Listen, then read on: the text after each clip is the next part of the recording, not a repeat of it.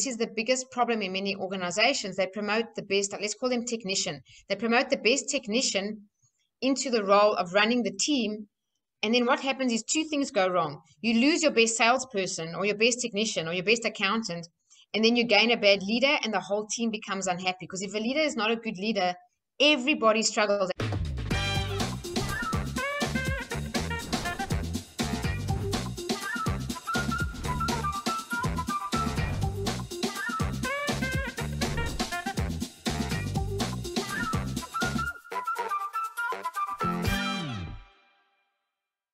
Welcome to the call. Thank you. Uh, now, we've brought you in to talk about leadership today. Now, but before we do that, I want to talk a little bit about your background. So, how did how did you get into to um, teaching leadership? Well, I was 20 years in corporate, and in 2012, my younger brother sadly passed away, and it was such a shock for me that it brought me to this crossroads, and I started to question so many things. And the thing I questioned was, am I really living my best life? And you know, he was here one minute and gone the next. If I died tomorrow, would I be happy? And what I came to understand about myself was I was successful, as how everyone terms it is subjective, but I, I was it was like unfulfilling success. I had successful in certain terms, but I felt unfulfilled. And I just got this intuitive impulse one day to join something called the John Maxwell team. So John Maxwell, for those who don't know who he is, he's the world's number one leadership author, speaker, and coach, and he's written over a hundred books. Um, and he's also, this book, The 21 Irrefutable Laws of Leadership, is the best selling leadership book in the world. And this was put into my hands back in 1998. And I've read several of his books over the years. So in 2012, after my brother passed away, I just really wanted to do something purposeful. So I joined the John Maxwell team, went over to Orlando, spent a week with John, and got certified as a coach, speaker, and trainer. Every year since then, I've gone over for a week and done the same thing. So what I was um, about to say to you was, you know, when you really have value added to you, you just want to share it with other people. So that happened to me. I came back from Orlando. I had so much training. We were on calls all the time, and all this value added to me. I just wanted to share it. So one day, I just put out something called a lunch and learn in my corporate job in the boardroom. I just said, anyone wants to come during lunchtime, bring your lunch, and I'm just going to do a free leadership presentation. And I didn't know if anyone was going to turn up and actually the room got quite a few people in. And when I delivered that talk on leadership, it was the first time I shared some stuff that I'd learned. Anyway, I got back to my desk and the girl sitting next to me said, Jeanine, how did you enjoy giving that leadership talk? I said, you know what, Karen, I loved it. I loved it with a passion. And as I said the word passion in my head, bing, the voice of my mentor reminded me because I, I, was lost and I didn't know what my life purpose was. And my mentor said, uh, um, like a year before, I was trying to understand it. He said, in your passion lies your God given purpose. So the minute I caught myself saying, Oh, I love that, I love it, the passion, I thought, Is it possible that this could be my life purpose? Anyway, limiting beliefs flooded in, and I thought, Oh no, how can I do that? I've got 20 years of experience in corporate, in, it, in retail and research and a different side. Who's going to pay me to speak or coach or train?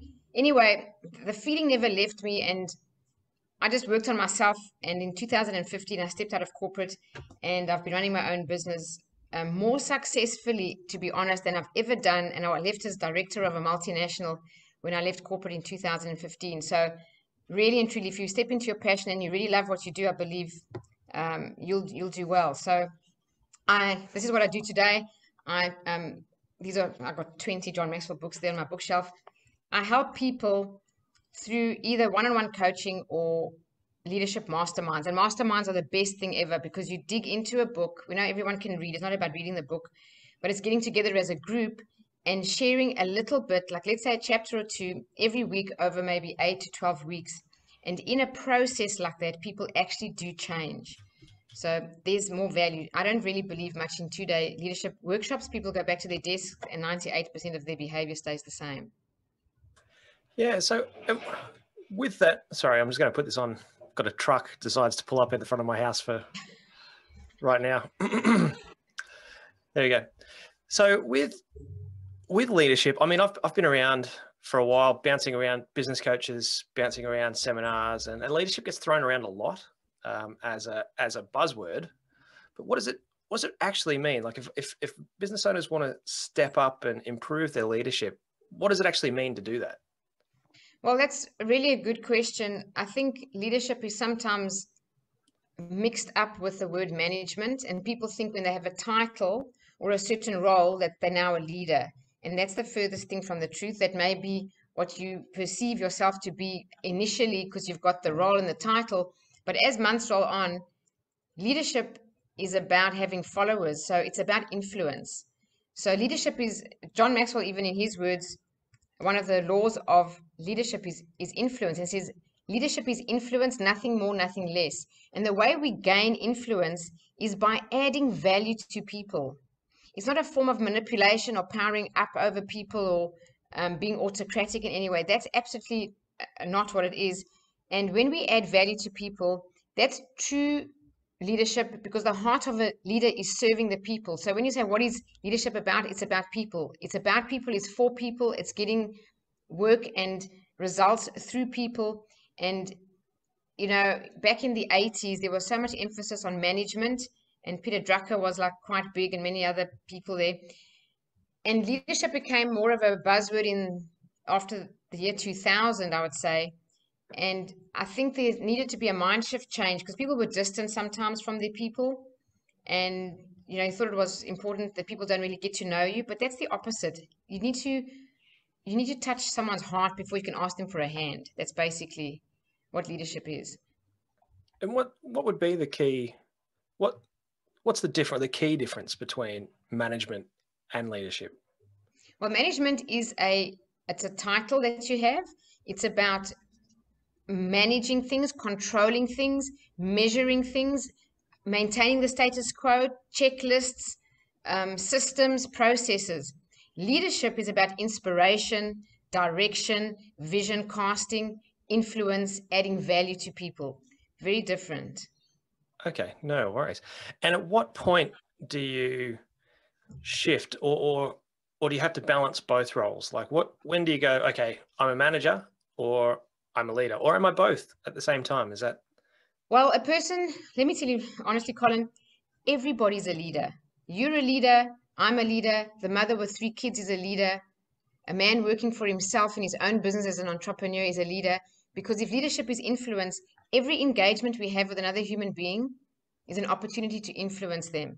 So you can know yourself if you've ever been in a boardroom and the boss is there but no one's really paying much attention or wanting to work with them or buying into whatever the boss is saying. And then someone else in the room speaks who's not the boss, and all heads turn and people start following. You get that. You've seen that. Everyone's seen that in their life. You'll go to a, a dinner party and someone's leading.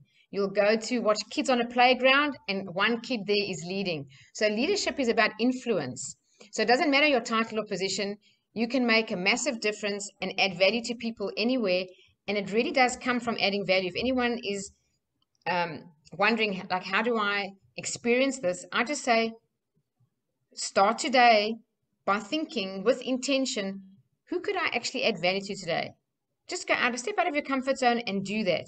And I think people need to look at their own conditions and circumstances as an opportunity to develop their leadership ability. Some people think, oh, I need to go on a course or, uh, you know, get trained yes, that does count and that's fantastic.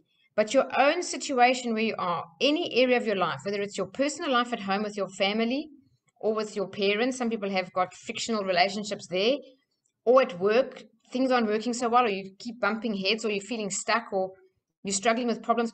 All these areas of our life are honestly opportunities for us to develop our leadership ability. And it's it's a book like this, well, I, would say that this is John Maxwell's latest book. It's called Developing the Leader Within You 2.0. This is the book I actually start all masterminds with. It used to be the 21 Laws of Leadership. I refer to them throughout, but this book is really fantastic. And if I can just tell you, just there's only 10 words, just the 10 words of what the chapters are, a person can get a handle on it. The one is the definition of leadership, which is influence. The next one is the key to leadership, which is priorities.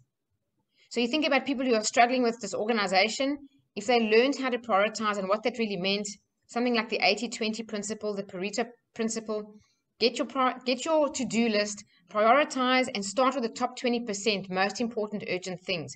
You'll be effective. Sometimes we're busy the whole day, but we're ineffective because activity is not accomplishment. Yeah, well, and what what sort of results have you seen from helping people um, become better leaders? Like, did you see Oh, yeah. So I've got this beautiful story that I love to share. When I was back in corporate and I became John Maxwell certified, I was doing masterminds for free wherever I could after hours. And there was a group of 10 of us where I was working before, and we came to the one chapter in the 21 laws of leadership, which is about the law of addition. People are either adders or subtractors. You're never in the middle. You're either intentionally adding value or you're automatically, um, not ignorant, but unaware and then you are by default a subtractor. And if you look at life that way, it sounds a bit harsh, but it really is the truth.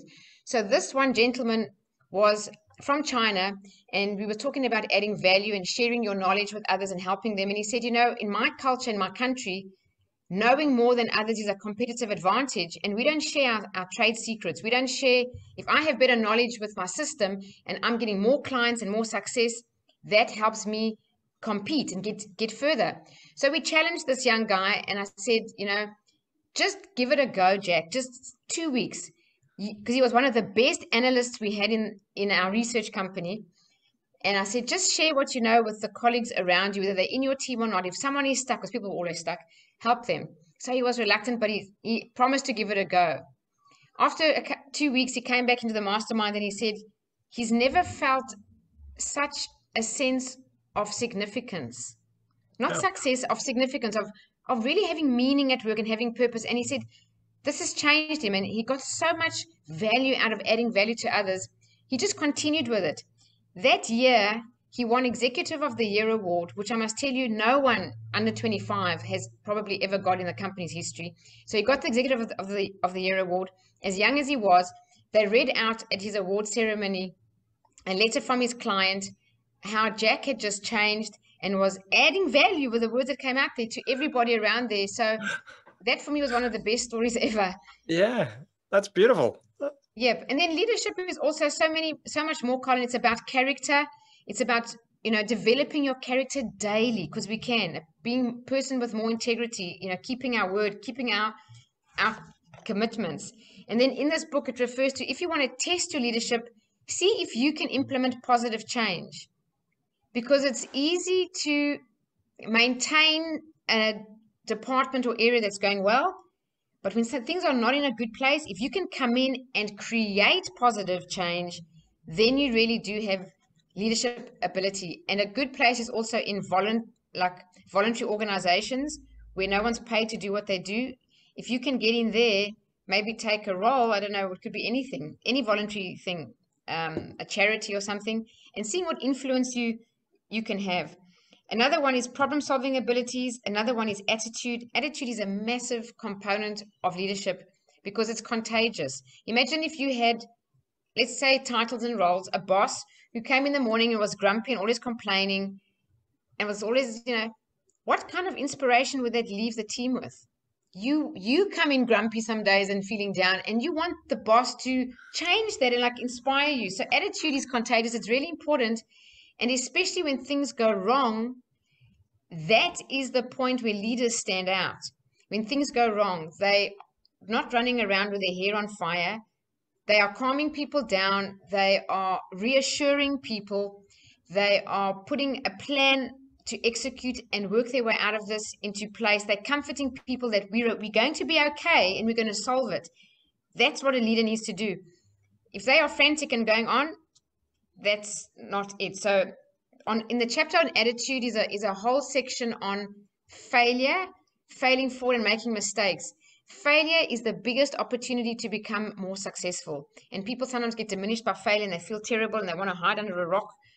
But really, if we can change our perception there, we can say what went wrong, how did it go wrong, who's responsible for it going wrong, what can I learn from this, and what can I change so that in future I can improve?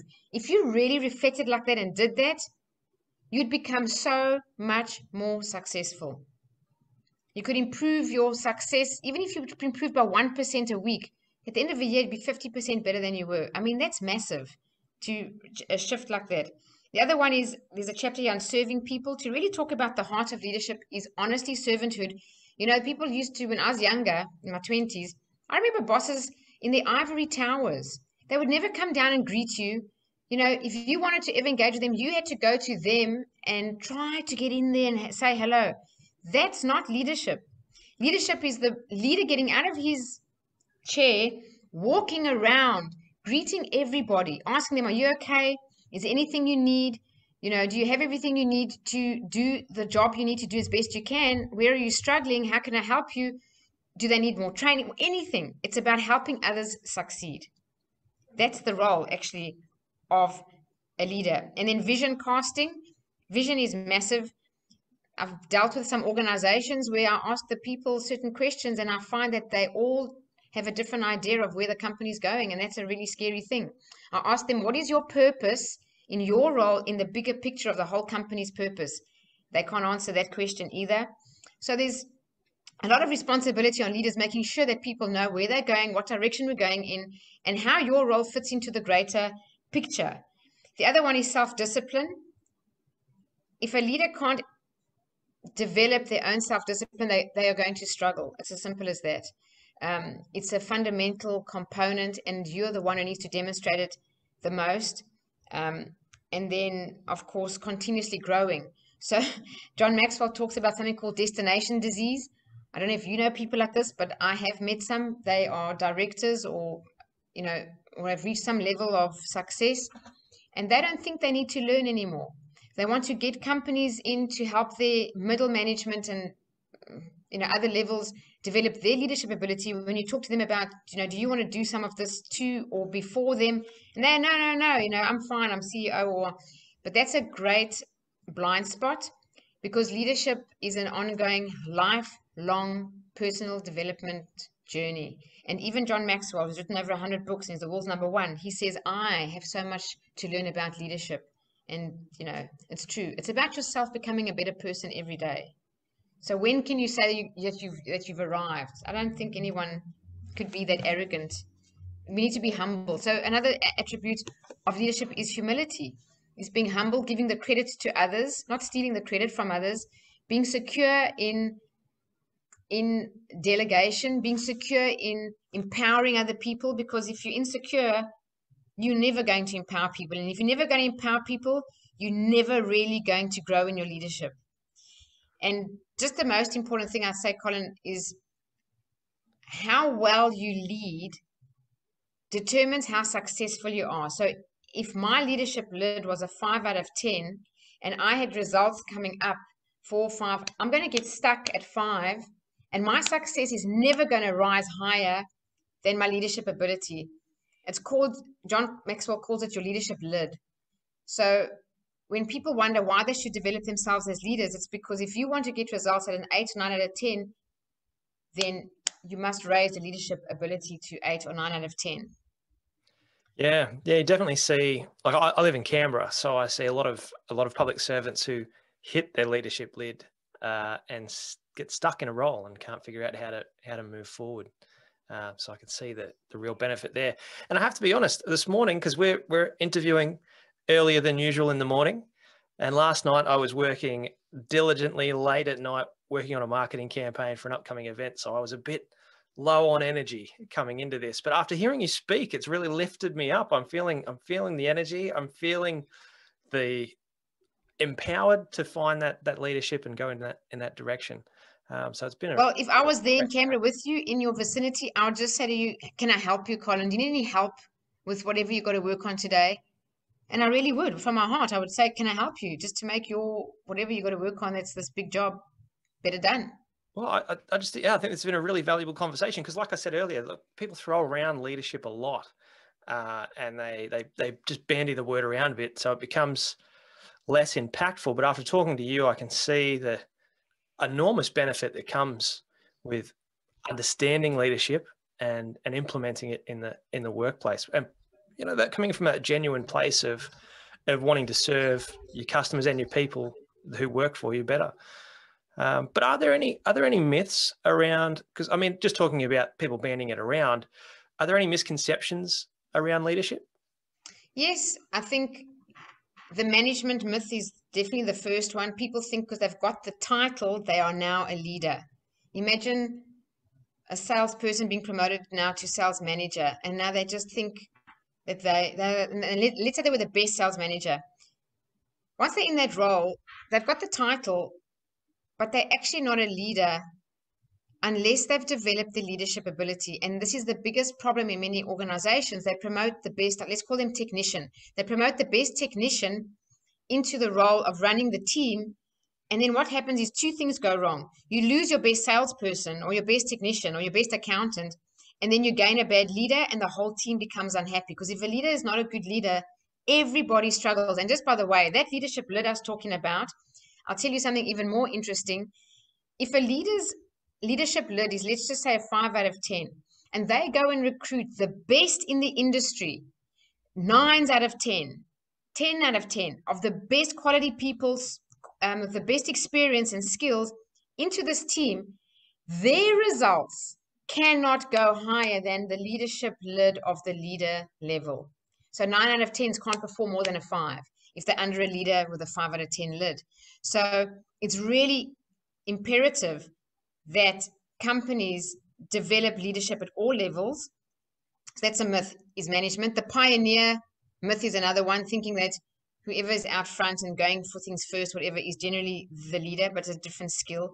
Entrepreneurial myth is another one where people think because someone saw a gap in the market, went out there and, you know, found an opportunity in that gap, they're automatically a, a leader, but it's not. It's a very different skill set because yeah. leadership's about people. Um, the position myth is the worst, uh, which is the same, similar as management. You know, give me the title, give me the position, and people will listen to me. How many times have you heard that? People aren't listening to me. I'm trying to, you know, create positive change. No one's listening. Just give me the give me the title. Then they promote the person, and you know what? Nothing really changes. And if people do listen, they do it because they are um, almost feeling they have to because the person's their boss and they determine the increases and their bonuses and their promotions. But the minute the leader goes on leave for two weeks, or there's something they have to do uh, after hours, or something is required to go the extra mile, you might have to work on the weekend, those people will be shutting their laptops and they're going to the park. They're going, they will not be there. When you've got a real leader, people will walk over red hot coals for you. They will stay late. They will work on a Saturday and Sunday. And you know what? You'll probably reward them and give them time off if you're a good leader to compensate for that. But the point is, people will walk to the ends of the earth for a good leader. And people don't leave companies when they're unhappy, they leave leaders, they leave their bosses. And it's generally something to do with most often belittling people, humiliating them, um, you know, not trusting them. That's a big deal. Trust by the way, I never said this before, but trust is the foundation of leadership. It is yeah. so important. And every decision we make as people, whether you in any title or role, because I said everyone's a leader, every decision we make when it comes to other people, we are either improving our trust score or, or bank balance, or we are withdrawing from that bank balance. And if you want to make change in an organization, you better have a lot of trust. And if you lose trust with people, you can't implement change. So those are most of the main myths I'd say is positions, titles, being an entrepreneur, being a pioneer. Okay, now now is there anywhere else because we're this this keeps happening. I keep getting these amazing people on this conversation on these chats, and I just want to keep going for hours, but we've got to wrap it up. So where, where can people go if they want to find out more information? About leadership? Yeah, about leadership or, or about working with yourself? Working with myself, please just Google my name. It's Jeanine Sciacca International. That's my website. Uh, yep. So I would say just go to Jeanine Sciacca International. I'm also on Facebook. Um, I'm also on Instagram.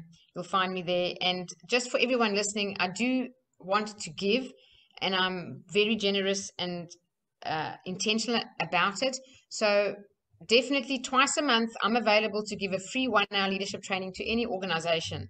Just come in during lunchtime, like a lunch and learn, inspire the team, have fun. I talk about three things what is leadership? Why should I develop my leadership ability? And then if the answer is, okay, I think I should, well, then how? So, what it is, why I should, and how to actually do it. Just a free talk. It's about 45 minutes. Take a bit of interaction and engagement with the audience, have some fun. So anyone out there would like that to inspire their team, it's great. Have a guest speaker come in and just add a bit of, you know, inject a bit of enthusiasm into the workplace. So that's another option. Fantastic. Well, look, if if you're watching this on YouTube, check the comments. If you're listening to this on the podcast, check the, the show notes. I'll put links down there so you can get in touch with Jeanine. Jeanine, thanks very much for your time. It's been fantastic. Thank you very much. Thank you, Colin.